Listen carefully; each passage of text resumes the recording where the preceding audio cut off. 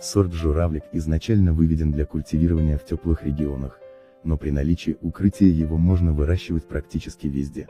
Отличается продолжительным периодом плодоношения, неприхотливостью в уходе и урожайностью. У него хороший иммунитет к болезням.